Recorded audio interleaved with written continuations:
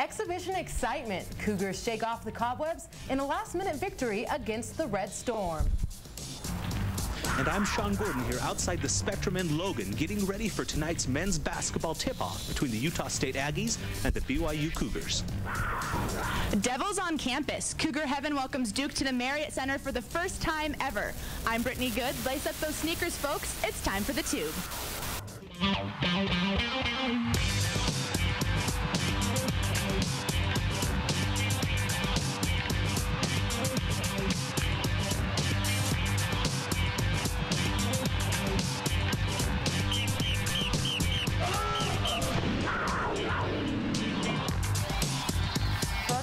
Say that I'm excited for BYU's basketball season to be starting up, but after that game against Dixie State, I'm a little nervous. I'm ready. I miss Jimmer. I miss Jimmer and Jackson. Everyone's missing Jimmer after that close um, win against a D2 team. Everyone wants to see Jimmer back. And I think the final score didn't reflect how close the game actually was, but the Cougar fans sweat some bullets there for a while when Dixie State rolled into town. Luckily for them, the men's hoopsters made it out of the Marriott Center alive. The Red Storm came out smoking hot, jumping out to an 8-0 lead. Brock Zylstra finally put the Cougars on the board with this three, make it a 12-3 game. He'd go on to lead the Cougars with 23 points. BYU slowly clawed their way back thanks to this steal and throwdown by Steven Rogers. Noah Hartsock added this nice little block before the half. Get that out of my house. 35 to 33 Cougs. Second half, uh, El Capitan Brock Zylstra with another three. Nice, but Dixie State scored 12 straight points to take the lead again, 52 to 50.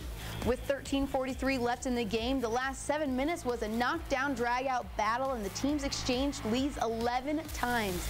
Brandon Davies gave the Cougs the lead with this two-handed jam with three minutes left. BYU finished the game on a 12 uh, on a 15-7 run and never looked back.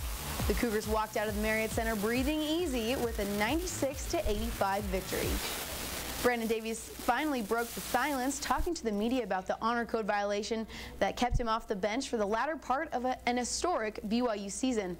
The Provo native says he's happy to be back on the court and appreciates the love his teammates and fans showed him during one of the hardest times of his life, and Davies isn't holding any grudges about the way he was treated. I was definitely treated more than fair. Just to be able to make it back here and, and be able to be a part of this team again is, is a blessing to me. It's definitely strengthened us. Uh, I think um, it's, it's a bad thing, a terrible thing that we all had to go through, and uh, they were willing to go through it with me and, and, and pull through together. And I think that says a lot about the, their character. Davies will play in his first official game since the Cougs took on San Diego State back in February, tonight against Utah State at 7 p.m. The BYU men's basketball team took care of business in their two exhibition games, but tonight they'll head up north to take on a tougher foe.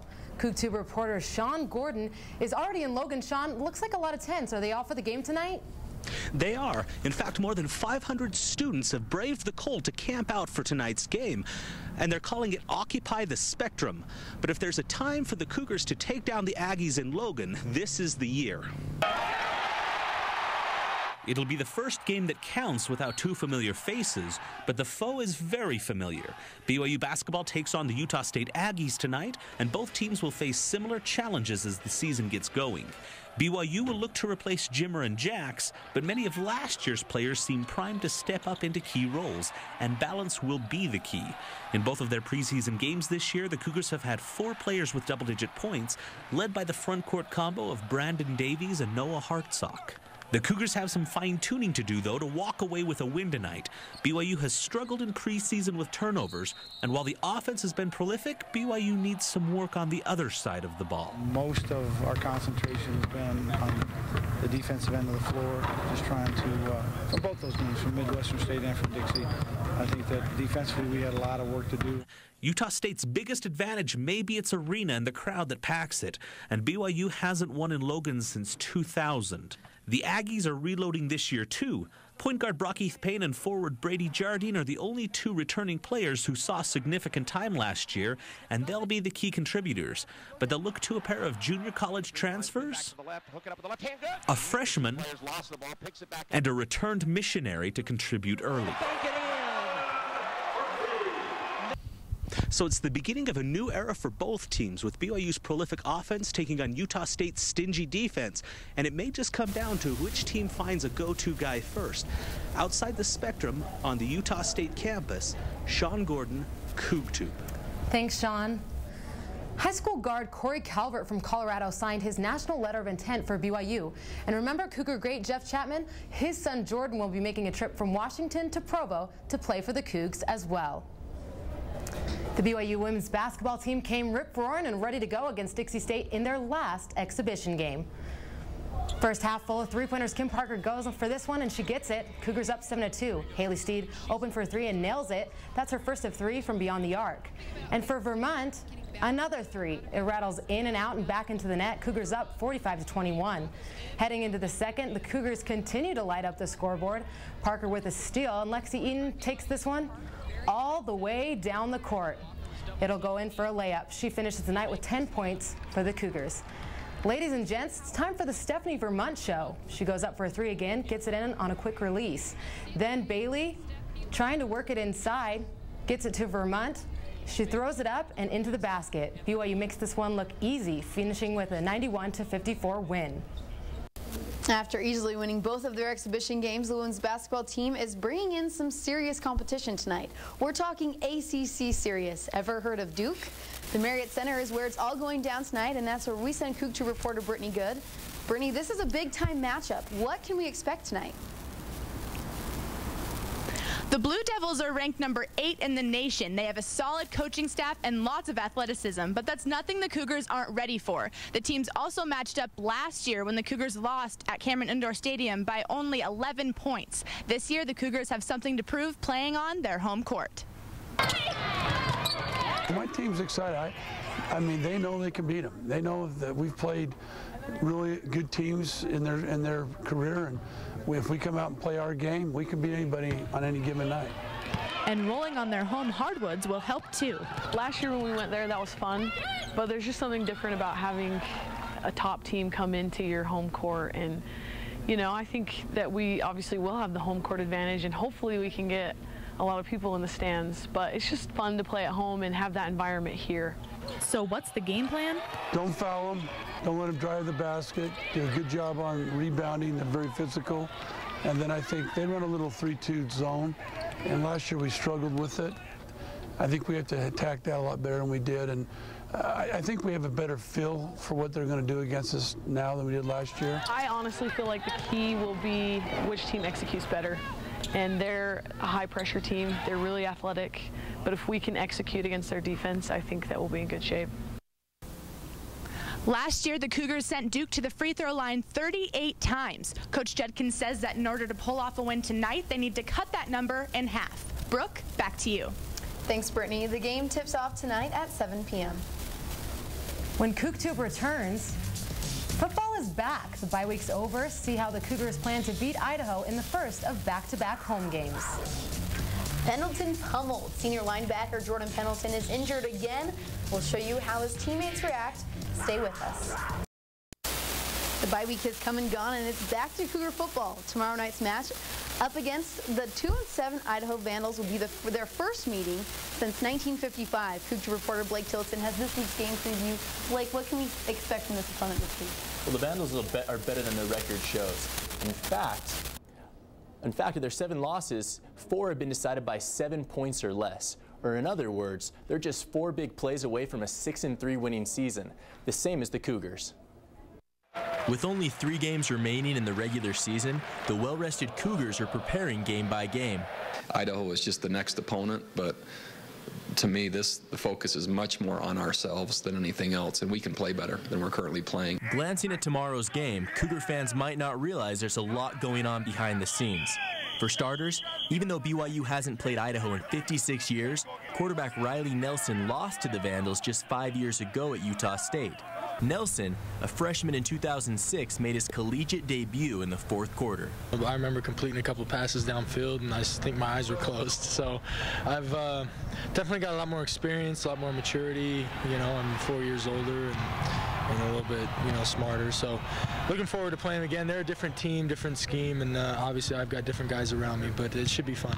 Defensively, we're going to have to stop the run, and they've got a quarterback that I think uh, I've got a lot of respect for because he does throw the ball very well. Another thing fans should look for is a big showing from sophomore Cody Hoffman. The punt returner needs 186 more yards with the special teams to break the single season record. A performance like that would certainly help seal a win for the Cougars, tying the overall series at 2 and 2. Under coach Bronco Mendenhall, BYU won six of their last seven games off a bye week.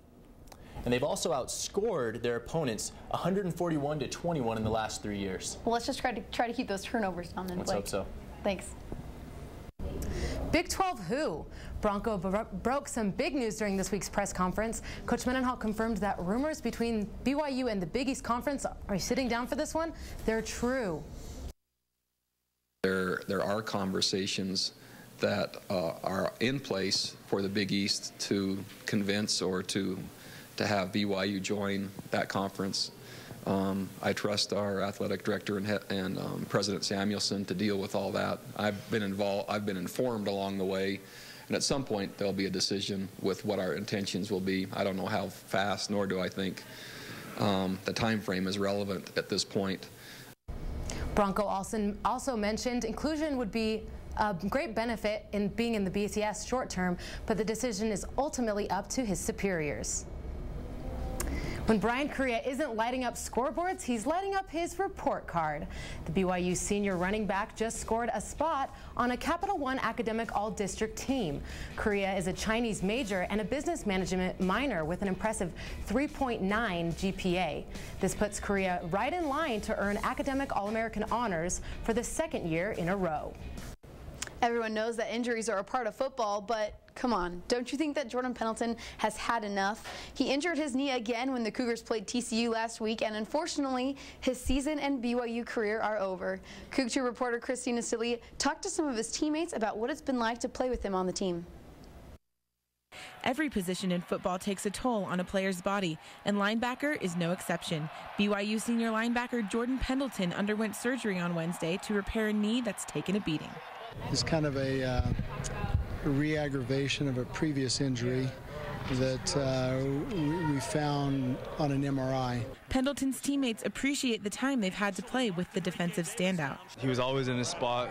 You could always count on him to be where he was. And he was a hard hitter and and he was a great pass rusher. So he got after the quarterback, which takes a ton of heat off uh, off the secondary. Pendleton's BYU career has been plagued by injuries, but that doesn't stop him from supporting his team in any way he can. He's been injured in the past, and honestly, he's the first guy to pat you on the back when, when you come off the sideline. When the Cougars take on Idaho tomorrow night here at LaVell Edwards Stadium, Pendleton won't be taking the field with his team, and his dominant presence on defense will be missed. He just brings that, his size, his toughness to the game is just, you know, it's something you can't replace. He brought intensity and emotion, and uh, he's just a hard-nosed guy that came every single day to work, and uh, it's hard to replace a guy like that. At LaVell Edwards Stadium, Christina Seeley, CougTube. Cougar fans will definitely miss him, and even though he's done for the season, head football trainer Kevin Morris said he anticipates a full recovery for Pendleton and the opportunity to ch chase his NFL dreams. In honor of Veterans Day, BYU Athletics will host a special tribute to the armed forces tonight at 7 p.m. in the Smith Fieldhouse. Head football coach Bronco Mendenhall, as well as All-Pro tight end Chad Lewis, will participate in the program. Fans are invited to attend, or if you can't make it, you can watch it on BYU TV immediately following the women's basketball game. When CougTube returns, dominating the Dons, the women's volleyball team cruised to a W over the Dons of San Francisco, but then ran into a brick wall in the form of St. Mary's. And stadium cleaners. It's a tough job in a big venue. Find out how they keep LaVell Edwards Stadium clean after every home game. The Lady Spikers only needed four sets to pull away from the San Francisco Dons, which gave them a four-match winning streak heading into this week. The Dons caught the Cougs sleeping in the first set, but the blue and white quickly picked up and went on a 9-1 run. The Dons kept it close, but the first set belonged to BYU. Second set, the Cougs jumped right out to an 11-5 lead thanks to five kills from Nicole Warner. The Dons fought the Cougs point for point in the third set and ended up on top, 25 19. We're headed to the fourth set, ladies and gentlemen. 11 tied scores, and a few errors later, the home team sealed the deal with a Jennifer Hampson kill. She finished the match with a high of 20 kills, and the Cougs took the match three sets to one. Heather Hanneman had a career high of 55 assists and 12 kills. Their winning ways unfortunately ended there. The ladies headed to, up to St. Mary's and got run out of town last night, losing three sets to zero. The women's soccer team finished their first season in the West Coast Conference with an 11-5-3 record, but the winning didn't end after their last game. A handful of our players were also given all-conference team honors. Junior Lindsay Lisenby made first team thanks to her tough defense, and junior Carly Payne's nine season assists helped her make the second team. Honorable mentions went to junior Colette Jepson and sophomore Rachel Manning, and freshman Jaden Thornock was named to all-conference freshman team. Mackenzie Olsen takes her goalie skills off the field by keeping bad grades at bay. The senior keeper was honored with a spot in the 2011 WCC All-Academic Team. Olsen is studying clinical laboratory science and holds a 3.4 GPA. But don't worry, her academic success doesn't hinder her performance on the field. Olsen is now the all-time career saves leader for BYU and helped contribute to the team's 11-5-3 record. We have plenty of Cougar games to fill your plate before Thanksgiving. Next week is packed with games for BYU sports junkies, and they come just in time to start the holidays. Starting Monday night is the women's basketball game in Tulsa, Oklahoma. Tuesday night's matchup promises to be exciting with our men's basketball team facing BYU Hawaii at home at 7 p.m. For those of you who can't make it, the game will air on BYU TV as well. Wednesday, the women's basketball team will face Kansas State all the way in Manhattan, Kansas that is. To wrap up the week, women's volleyball and men's basketball will take the floor. The volleyball team takes on Gonzaga and the basketball team takes on Longwood. Both games will air on BYU TV. When Coug Tube comes back, Stadium Spruce Up. We'll find out what it takes to make LaVell Edwards Stadium sparkle after every game. And it's not just our Cougar team kicking it off tomorrow. Mother Nature is kicking up a storm as well. I'll give you the details when 11 Game Time Weather returns. You know how it's a drag to have friends over to watch a game and how big of a mess they can make? Well, imagine having a stadium full of friends making a big old mess. CougTube reporter Devin Dewey gets down and dirty to show us exactly how the home of the Cougars gets sparkling clean. A group of 60,000 people buying popcorn, drinks, and nachos can make quite a mess. Would you be up for the challenge of cleaning that up? To clean up the stadium after a game is no easy task. It takes an army of people to get the job done. The grounds used to do it, and um, they decided there, there are a bunch of clubs on campus and they wanted some sort of a fundraiser. The clubs get their fundraiser and BYU gets a clean stadium, so it's a win-win. But it takes quite an effort to get the Cougars' layers sparkling clean for the next home game. Uh, they all have push brooms and they push everything toward the aisle. Uh, once they push it toward the aisle, they usually get some sort of uh, dustpan or something and they scoop up the trash and bag it that way.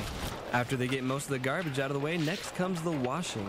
Each side has three hoses for the workers to wash down every seat and aisle to make sure it doesn't have any sticky garbage left over. The entire process takes about 160 people and three hours of hard work. And when the dust has settled, these workers will have collected about 130 bags of garbage and about 40 bags of recycling for each game. At LaVell Edwards Stadium, Devin Dewey, CougTube.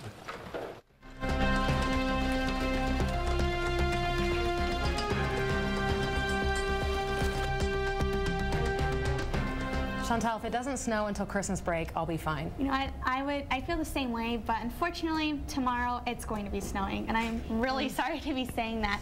And taking a look outside right now, you wouldn't really be able to tell. This is an earlier shot, and but now we are seeing some clouds rolling through.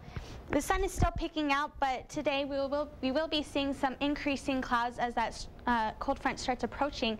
Tomorrow it's going to be rain changing into snow. For, for today right now, currently it is 39 degrees outside, humidity at 60% rising as that storm starts approaching. And we will be seeing a high about 58 degrees today. And for tomorrow, our game day, well, Like I said before, it will be raining in the morning, but by the time the game starts at 7.15, we will be seeing some snow showers.